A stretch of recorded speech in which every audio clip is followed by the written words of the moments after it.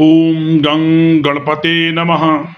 मेष राशि वालों, आज के इस वीडियो में हम चर्चा करेंगे कि किस प्रकार मेष राशि वालों के लिए 8 सितंबर से 14 सितंबर, यानी कि सितंबर माह का दूसरा सप्ताह रहेगा।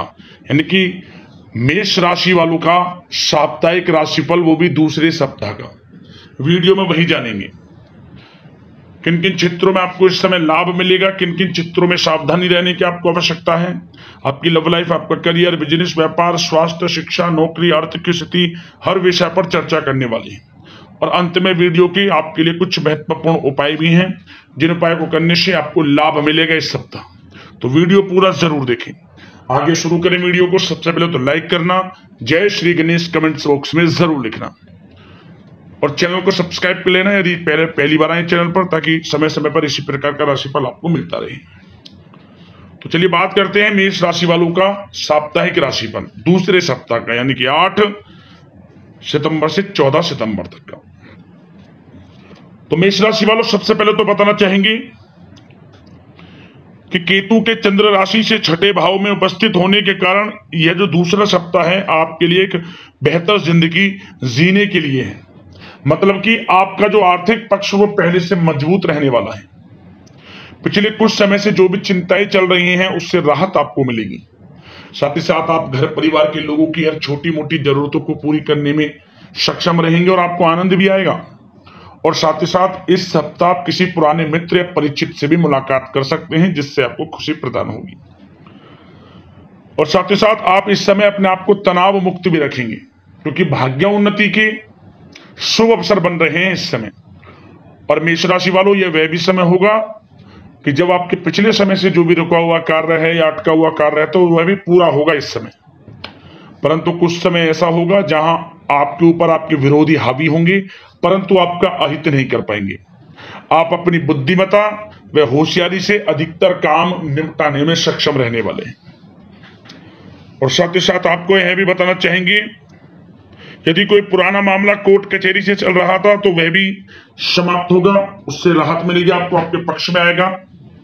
और यह समय उनके लिए भी अच्छा है, जिन लोगों ने कहीं पैसा उधार दिया है, या कहीं अटका हुआ पैसा है, या कहीं पैसे को निवेश किया है तो वह पैसा मिलने वाला है आपका।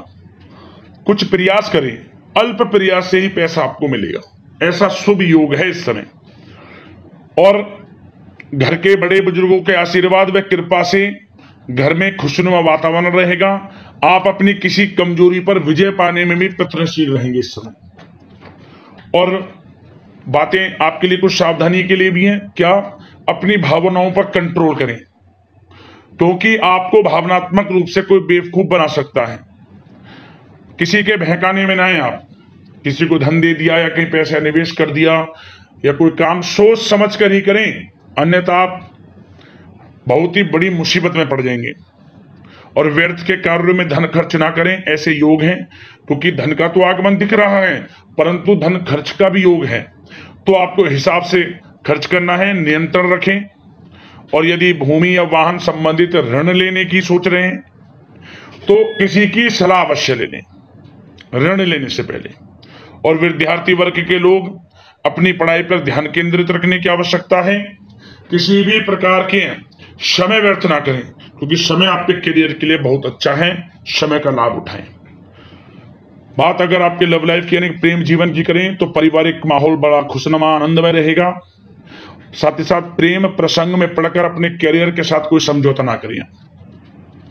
परिवार में ऐसा भी समय हो सकता है, किसी बात को लेकर मतभेद या गलतफहमी की स्थिति रह सकती है। तो आपको क्या करना है? सावधान रहना है। सावधान रहें। कुछ ऐसा ना बोलें जो किसी को आहत लगे। पति पत्नी में यदि कोई अनमन है वह भी दूर होगी और पुनः रिश्तों में मधुरता आएगी, प्रेम बढ़ेगा।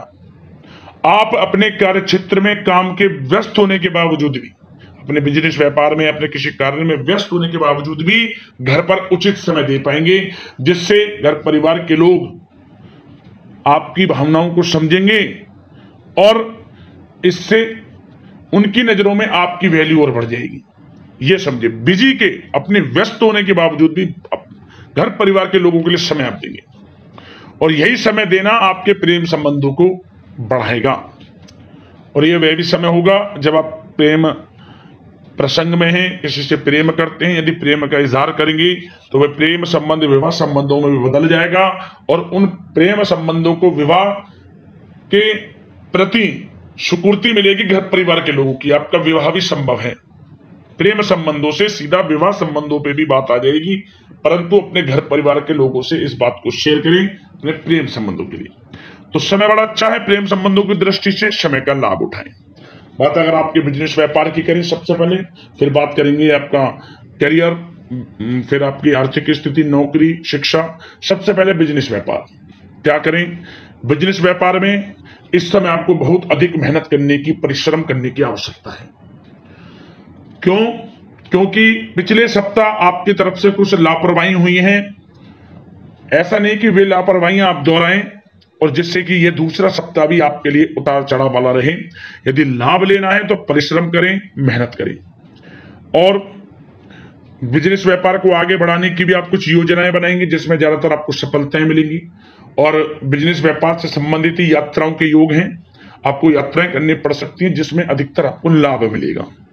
और जो लोग नया बिज़नेस व्यापार शुरू करने की सोच रहे हैं, उनके लिए समय बड़ा अनुकूल दिख रहा है। परंतु समझदारी बुद्धिमता और किसी की सलाह से ही कार्य करेंगे तो आपको लाभ रहेगा। बात अगर आपके करियर की करें तो करियर से संबंधित बातें सबसे पहले शिक्षा को लेकर। शिक्षा में यदि जो लोग विदेश जाकर पढ़ाई करना चाहते हैं तो वह सपना पूर्ण होता दिख रहा है। साथ ही साथ मन चाहे कॉलेज में आपको दाखिला मिलने के भी योग हैं। प्रयासरत रहे, कोई आपने उसके लिए इंटरव्यू दिया है या फिर परीक्षाएँ दी हैं कॉलेज के संबंधित तो वह भी आपके पक्ष में आएगी। तो समय बड़ा अनुकूल है विद्यार्थी वर्ग के लोगों के लिए। और जो लोग नौकरी कर रहे हैं, उनके लिए भी बड़ा अच्छा समय है। क्योंकि नौकरी में हल्की फुल्की परेशानी आएँगी। परंतु बुद्धिमता, आप अपनी बुद्धिमता व विवेक से सभी परेशानियों का हल भी निकाल लेंगे, वो भी बड़े शांतिपूर्ण ढंग से। वैसे तो छोटी मोटी परेशानियाँ नौकरी में दिख रही हैं, परंतु बॉस और उच्च अधिकारी जो आपके वरिष्ठ अधिकारी हैं, उनका सहयोग आपको तनाव मुक्त रखेगा। जो भी आपको कार्य मिलेगा, वह समय पर पूर्ण भी करेंगे आप। जो भी टारगेट मिलेगा, उससे आपकी अहमियत और बढ़ जाएगी। और ऐसे योग बनेंगे जल्द से जल्द कि आपको प्रमोशन भी मिल सकता है। और जो लोग नौकरी की तलाश में हैं, उनका भी यह सप्ताह भाग्य का साथ मिल सकता है, परंतु तीसरे सप्ताह में हंड्रेड परसेंट आपको नौकरी के योग हैं। इस समय थोड़ा उतार चढ़ाव वाला हो सकता है, परंतु कुछ मेष राशि वाले जातकों को नौकरी प्राप्त होने की पूरी उम्मीद है, परंतु तीसरे हफ़्ता में जो लोगों को निराशा हाथ लगेगी तो तीसरे सप्ताह में उनको नौकरी मिल जाएगी। बड़ा अच्छा योग है। और आर्थिक स्थिति तो आपकी है ही अच्छी, क्योंकि बिज़नेस व्यापार से भी अच्छे लाभ के योग हैं, रुका हुआ पैसा मिलने के भी योग हैं, नौकरी के माध्यम से कुछ प्रमोशन के भी योग हैं, नौकरी मिलने के भी तो आपको आर्थिक स्थिति के लेकर चिंता नहीं करनी अच्छा समय है। बातें स्वास्थ्य के लिए भी कर लें तो स्वास्थ्य के लिए आपको बता दें, मौसमी बीमारी से थोड़ा सतर्क रहें, क्योंकि मौसम बदल रहा है। नियमित रूप नियमित रूप से आप योगासन मेडिटेशन का सहारा लें अच्छा खान पान रखें, सुपाच्य भोजन और तनाव मुक्त अपने आप को रखें, स्वास्थ्य भी अच्छा रहेगा। अब उपाय की बात करें तो मेष राशि वालों, इस सप्ताह आपके लिए उपाय क्या है? आपको ज़्यादा नहीं, एक उपाय करना है, ओम गम गणपते नमः।